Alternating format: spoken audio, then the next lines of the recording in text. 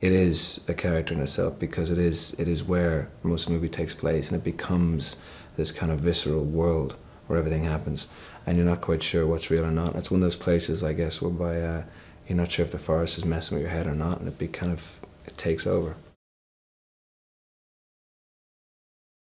You get to really properly explore the dark, uh, the dark nuances of, of, of the psychological aspect of, of people's character, and that's what they do in this film. It's very very psychological, which is what I really like. There's a lot of character in it, and it's just really really scary. And when I read it, I was like, this is this is kind of messed up. And then when you read it and it's messed up, then it's gonna be even better when you actually see it. I as a horror film goes, this is kind of everything that you want.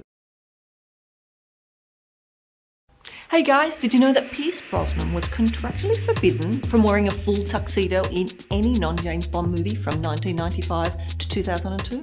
For this and more movie facts, click on more videos. But if you want something else, click on the playlist.